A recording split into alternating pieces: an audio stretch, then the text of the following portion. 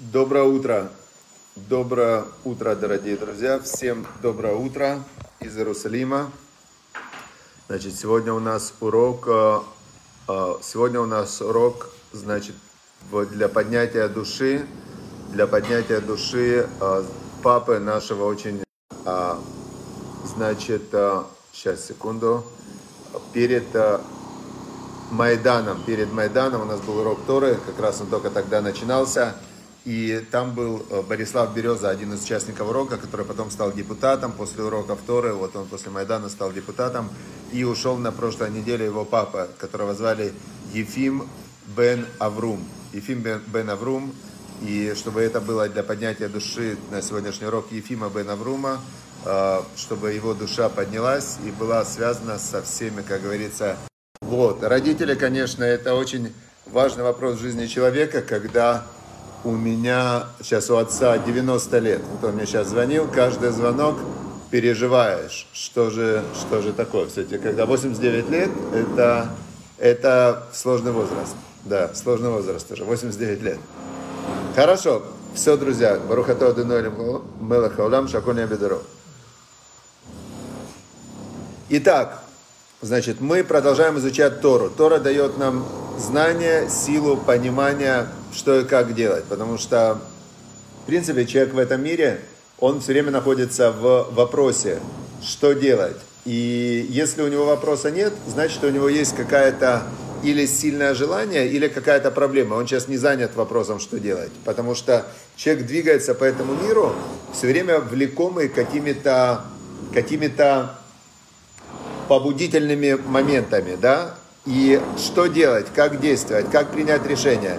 Самое главное, а, значит, отличие человека от всех остальных созданий в этом мире, что у человека есть свобода выбора, и он постоянно решает вообще. У него настолько обширный выбор, а, каким быть, что делать, чем заниматься.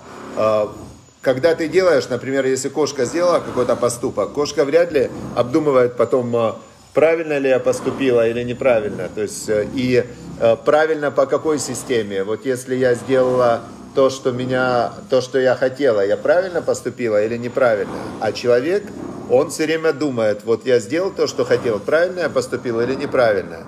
И я вот не знаю, кошки обижаются на друг на друга или не обижаются, но люди еще и обижаются друг на друга, потому что они оценивают не только свои поступки, но и поступки окружающих людей.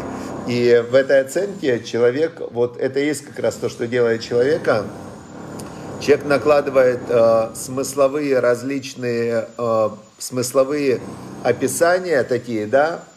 Э, это значит, э, а вот как я, что это значит? Если так, как я должен реагировать? То есть это то, что отличает человека. Поэтому, поэтому мы изучаем Тору. Вот у меня сейчас соседи, они решили расширять свои, свои жилищные условия. Сосед у меня копает. Слышите, как копает? Копает он и копает, копает и копает. То есть он хочет улучшить свои жилищные условия, но пока есть он, э, он э, вообще не, не живет даже дома, потому что, потому что ну, когда так копают, тяжело жить дома. Хорошо, друзья, все. А мы возвращаемся к изучению Торы. Тора не меняется уже 3333 года назад была дарована Тора. И мы в Торе как раз сегодня находимся в день, который называется шестое число месяца Хишван. И мы сейчас читаем в третий день недели. И третий день недели мы читаем как раз третий отрывок из недельной главы Лех-Леха. И мы читаем историю, которая произошла 4000 лет назад. 4000 лет назад примерно Авраам, праотец Авраам, после того, как он э, пришел по слову Бога, он вышел из своего дома, из своей страны и пошел в землю, которую Бог ему обещал, обещал в наследие ему его потомков, а потомков у него не было. У Авраама он был бездетный, и жена его была бездетная. И они знали о том, что они бездетные, но Бог ему пообещал, что у тебя будет потомство. И вот выходит э, Авраам бездетный, Сара бездетная, приходят в землю Израиля, а, она еще не называлась тогда земля Израиля, ее населяют дикие абсолютно люди. Эти, эти дикие люди вообще не про Бога слышать вообще не хотят, потому что дети люди, зачем им про Бога слышать? Они идолопоклонники. Тут начинается голод. Авраам из-за голода идет в страну, в которой жили мади, это Древний Египет. Там в Древнем Египте Сару забирает фараон, и после того, как Бог делает чудеса, и фараон заболевает резко по слову Сары, и Сара вот говорит, э, например, там, язва, и на него язва, говорит, значит, что парализовала его, парализовала.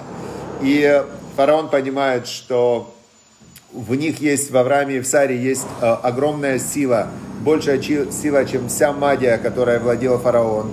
И они реально владели Авраам и Сара, так как они были соединены с Богом, а Бог создатель всего, творец мироздания, то они были соединены вот с этой вот бесконечной силой Всевышнего. И фараон их отдал им очень большое богатство, дал свою дочку Агарь, египетскую принцессу, дал, дал э, ее, сказал, что вот забирайте, пусть она будет рабыня в вашем доме, пусть у вас учится.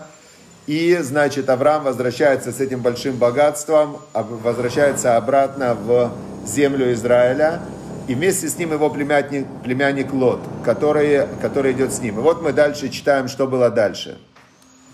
Значит, и также у Лота, который шел с Авраамом, было много скота, и были у него шатры, то есть Лот тоже разбогател. Говорит нам Раша, комментатор, что почему Лот разбогател? Потому что он был рядом с Авраамом.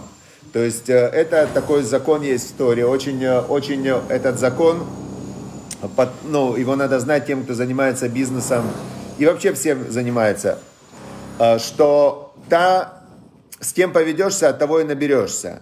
И когда, получается, Лот присоединился к великому Аврааму, то он от Авраама набрался тоже вот этого величия, включая богатство. Значит, и когда они пришли, у них было очень много имущества, вернулись они в землю Израиля, уже эти местные идолопоклонники смотрели на них с уважением, да, потому что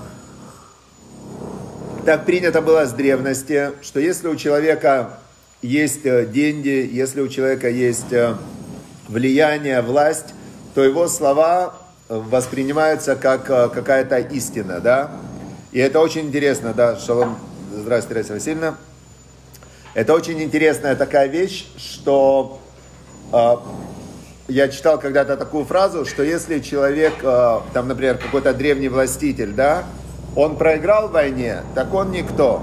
А если он такой же убийца, там вообще Александр Македонский, да, Мугдон, он же был убийца, страшный человек, но он победил во всех своих войнах, его назвали Александр Великий, и Великий, вот он считается, почему он Александр Великий, я слышал когда-то про него одну лекцию, так, а, которую я читал. Он говорит, Александр а, Македонский, он великий дурак. Просто слово дурак пропустили. Великий негодяй, дурак, это больше подходит к нему, чем великий. Ну, потому что он убийца, который приходил вообще в непонятные вокруг страны, просто грабил их, убивал. И, и все. И чем, в чем величие ну, такого человека, который ограбил весь мир? Разве называем мы грабителя великим?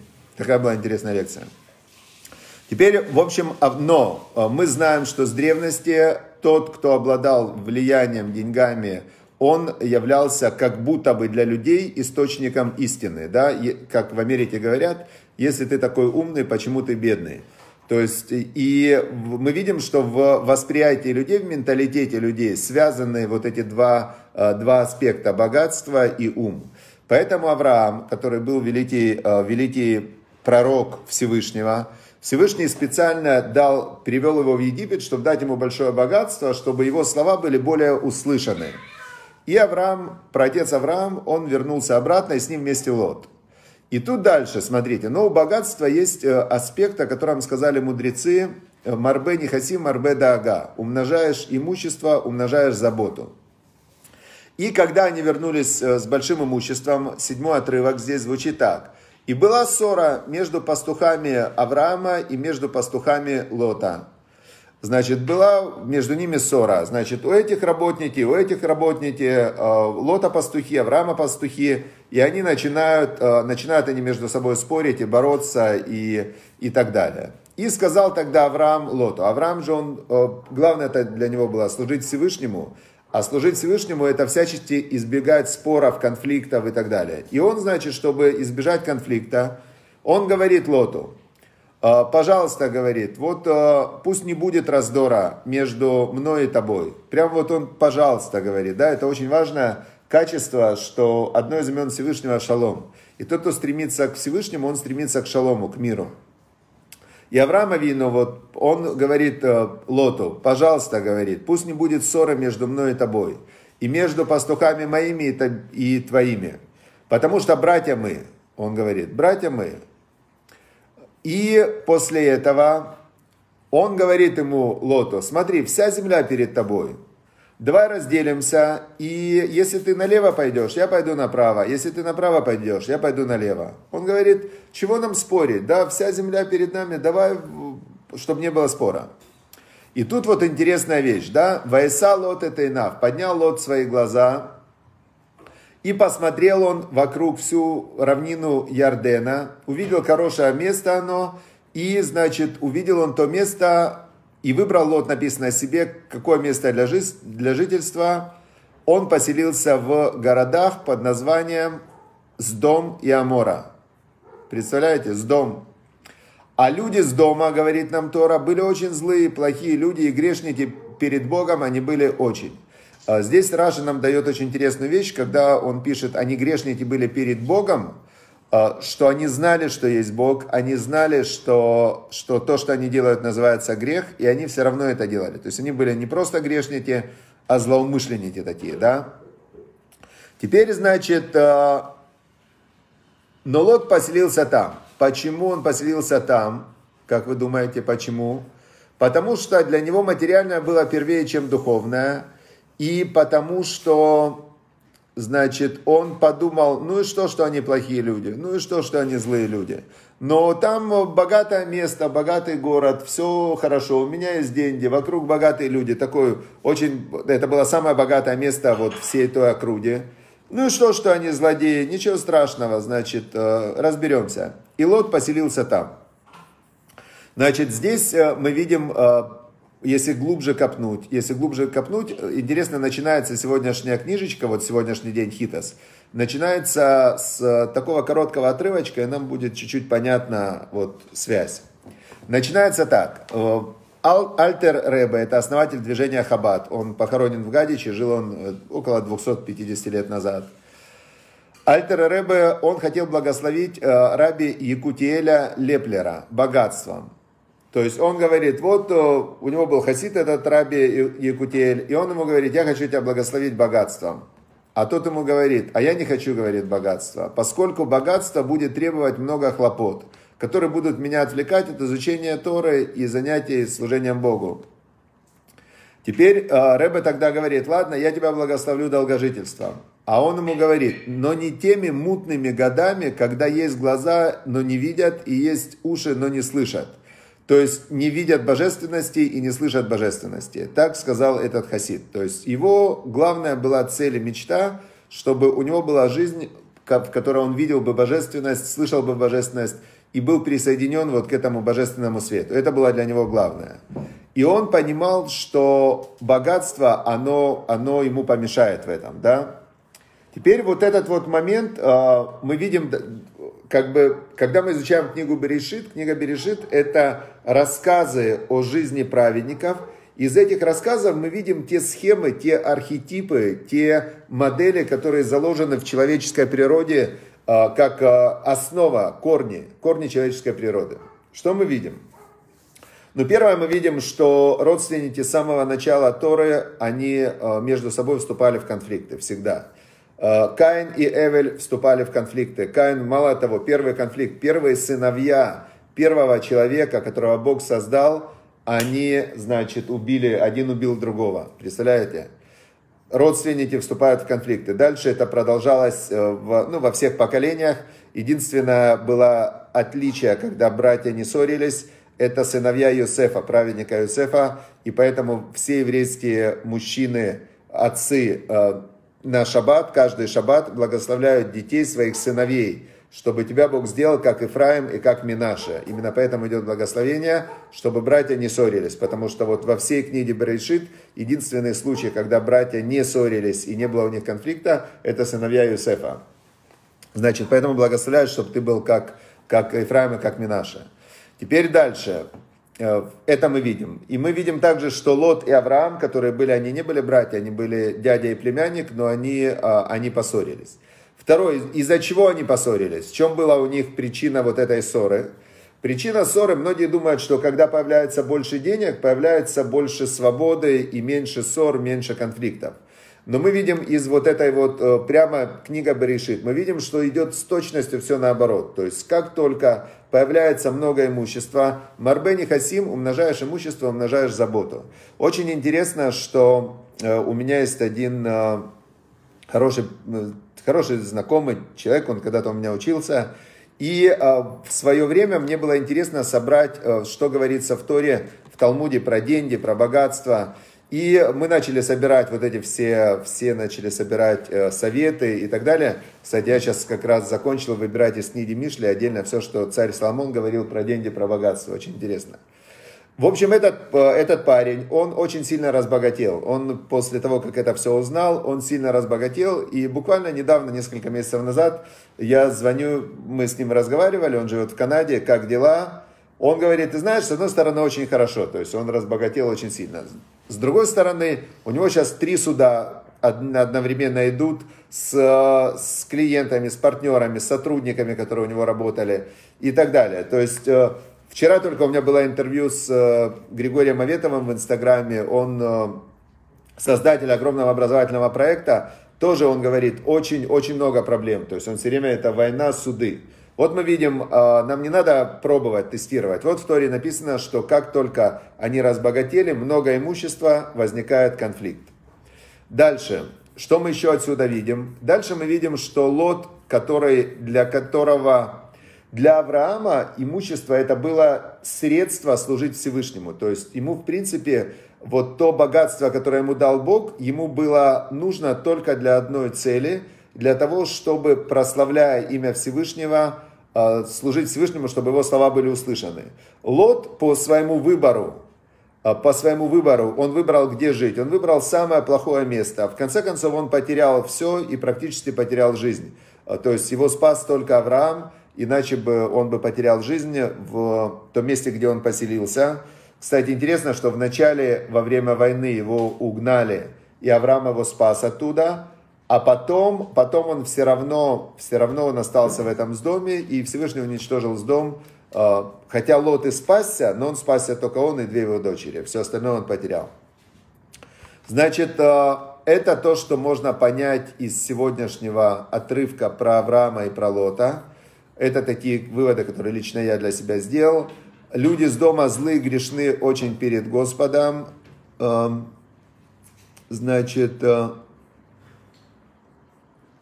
это, Раша говорит, не помешало это Лоту поселиться там и жить с ними. Отсюда наши мудрецы выводят.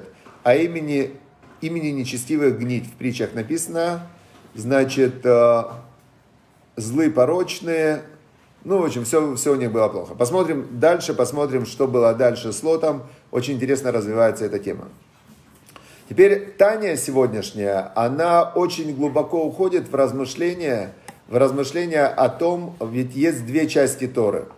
То есть здесь уже несколько дней э, Альтер Ребе, который создал книгу Таня, написал, он, э, он углубляется в вопрос э, из книги Зоар. Есть в книге Зоар э, там одно место, которое ему лично, оно не очень мешает, как там написано. Что, я не буду в это все вдаваться. Единственное, что, что сегодня мы можем отсюда узнать, что есть две части Торы – и он доказывает, что обе части Торы называются и э, древо жизни, и древо познания добра и зла. То есть, помните, было в раю древо познания добра и зла и древо жизни. Так он говорит, что есть э, такое определение, что открытая часть Торы, то есть то, что мы изучаем, это называется открытая часть Торы, которая определяет, что такое добро, что такое зло, что можно, что нельзя, где заповедь, где запрет. Открытая часть Торы – это дерево познания добра и зла. А скрытая часть Торы – это Кабала, Хасидут, это то, что говорится про душу. Это древо жизни. То есть э, он говорит, что это одно и то же, нельзя разделять. Вот то, что он доказывает, что невозможно, э, невозможно изучать глубокие вещи и говорить «я люблю Бога», при этом делая здесь те вещи, которые Бог запретил делать. Он говорит, что и эти две части Торы это как одно целое. Это то, что он доказывает в уже несколько дней. Поэтому мы не будем туда углубляться. Мы ему верим, потому что это Альтер Ребе, почему нам ему не верить.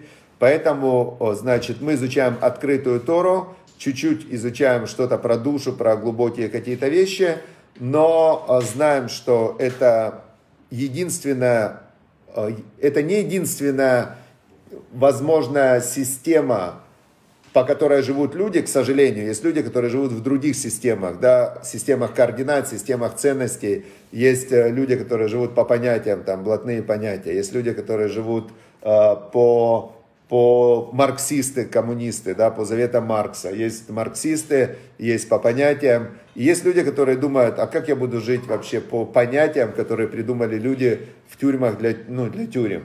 Или как я буду жить по, по заветам Маркса, который, который сам этот Маркс вообще был непонятно кто, а по его заветам убили, я видел такую цифру, что марксисты, ленинисты и все их последователи, если взять и Китай, и там Северную Корею и так далее, то в общем убили марксисты и ленинисты, которые идеологически были последователями Маркса, они убили 200 миллионов человек. 200 миллионов человек это жертвы вот этих всех коммунистических режимов, которые считали, что они были материалисты, которые считали, что цель оправдывает средства, и для того, чтобы какой-то части народа было лучше, можно другую часть народа спокойно убить.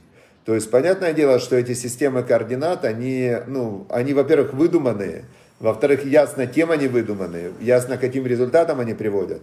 Есть Тора, это то, что дал Всевышний через пророков, и которая отдает вечность еврейскому народу, уже мы видим, работает. 3333 года назад была дана Тора, и мы видим, как еврейский народ, пройдя через эти 3000 лет, вот так вот вообще через такие сложности, 2000 лет живя без своей земли, через 2000 лет Бог возвращает именно в Израиль, на то же место, с тем же языком, с той же идеологией, с той же Торой, и появляется опять в Израиле, появляется Израиль, за 70 лет расцветает, и мы видим, что... Я вчера, кстати, я одну вещь вчера на уроке сказал в начале, и не, не договорил ее. Я сказал, что я прочитал э, о том, что сейчас сбылось одно из пророчеств, которое показывает говорит о времени перед приходом Машеха. И в, одном, э, в одной из книг пророков написано, что во времена, когда придет Машех, то есть когда вся земля наполнится знанием, столетний будет умирать молодым, написано, столетний будет умирать молодым. Мы видим сейчас, что э, продолжительность жизни выросла, и на сегодняшний день есть очень много столетних уже, да, столетних, которые чувствуют себя как молодые. То есть они выглядят достаточно молодо и так далее. Пофидисты, вот Гарри говорит, тоже система. Пофидисты это те, которые все системы назвали пофигу, а, ну а как же они живут? Пофидисты, они подбирают себе по ситуации, систему по ситуации, это называется пофидисты. Они все системы, сказали, все системы пофигу.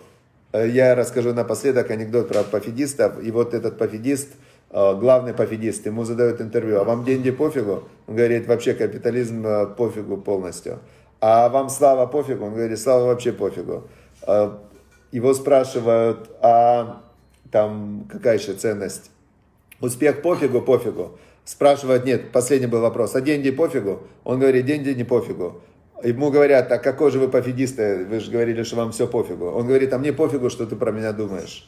Я такой пофигист, которому все... То есть есть система, когда ты, а, когда ты без системы, когда ты рушишь все, но в итоге ты остаешься ни с чем. Поэтому Тора – это древо жизни и древо познания добра и зла, которое дал Бог.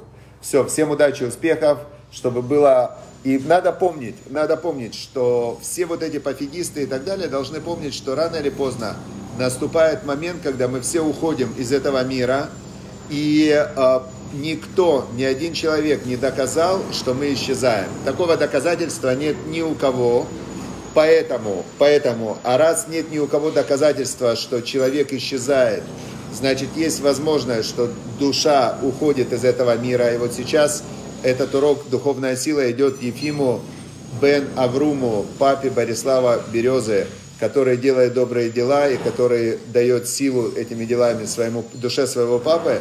И вот тут как раз все те, которые насмехались над Торой, над духовностью, они там, конечно, будут потом очень сильно об этом жалеть. Очень сильно будут об этом жалеть, что они жили здесь вот в своей вот этой вот пустой системе без э, связи со Всевышним. Все, всем удачи, успехов, хорошего дня. Всем пока.